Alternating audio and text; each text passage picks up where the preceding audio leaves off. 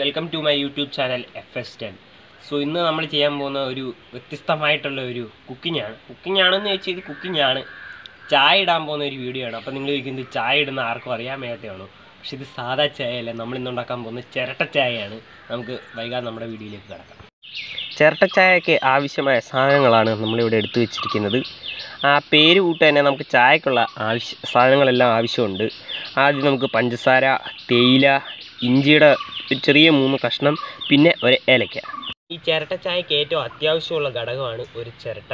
പ്രത്യേകിച്ച് അതിലൊന്നും നമ്മൾ ചെയ്യേണ്ട ഒരു ചിരട്ട എടുത്ത് നല്ല വൃത്തിയായിട്ട് കഴുകിയെടുത്താൽ മതി. കാരണം ഇതിനകത്ത് ചായ ഇടാനുള്ളതാണ്.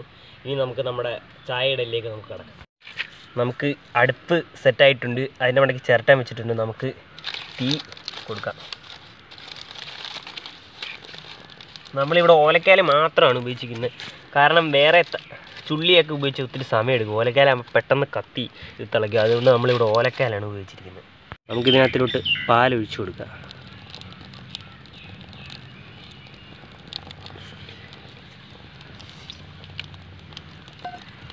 ഏലക്കയുടെ ഇതിനകത്തിലോട്ട് ഏലക്കയുടെ ഏലക്കയുടെ കുരു.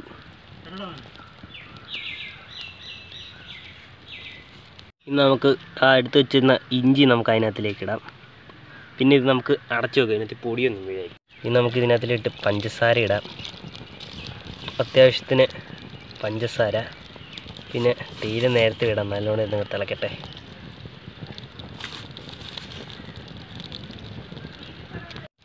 നമ്മുടെ ചായ അങ്ങനെ തിളച്ചുകൊണ്ടിരിക്കുകയാണ് ഏത് നിമിഷം അത് തിളച്ച് പോകും. ചായ തിളച്ചങ്ങനെ തൂകിയിരിക്കുകയാണ് നമ്മുടെ ചിരട്ട ചായ അങ്ങനെ ആയിട്ടുണ്ട്. ഈ ചിരട്ട നിറച്ച് വെച്ചാൽ കുറച്ച് തൂങ്ങിപ്പോയി. നമുക്കിനി ഒന്ന് ടേസ്റ്റ് ചെയ്ത് നോക്കാം. ഓലക്കാലിന്റെ ഒക്കെ ഇച്ചിരി ചെവിയുണ്ട് പക്ഷേ കൊള്ളാം. ഏലക്കയുടെയും ഇഞ്ചിയുടെയൊക്കെ നല്ലൊരു ടേസ്റ്റ് അതിനകത്ത് വരുന്നുണ്ട്. ഇത് നിങ്ങൾ ട്രൈ ചെയ്ത് നോക്കണം. ജസ്റ്റ് ഒരു ചായ കുടിക്കാൻ വേണ്ടിയിട്ട് വരും. ഇതൊക്കെ ഒരു രസമാണ്. ഇതൊക്കെ ഞങ്ങൾ ട്രൈ ചെയ്ത് നോക്കണം. ഈ വീഡിയോ ഇഷ്ടപ്പെട്ടെങ്കിൽ നിങ്ങൾ ലൈക്ക് ചെയ്യുക. ഇഷ്ടപ്പെട്ടില്ലെങ്കിൽ ഡിസ്ലൈക്ക് ചെയ്യുക. ഇതുവരെ എന്റെ ചാനൽ സബ്സ്ക്രൈബ് ചെയ്യാത്തവരുണ്ട് അത് സബ്സ്ക്രൈബും ചെയ്യണം. ഇനി ഇതുപോലത്തെ വീഡിയോ ആയിട്ട് ഞാൻ വീണ്ടും വരുന്നതായിരിക്കും. ബൈ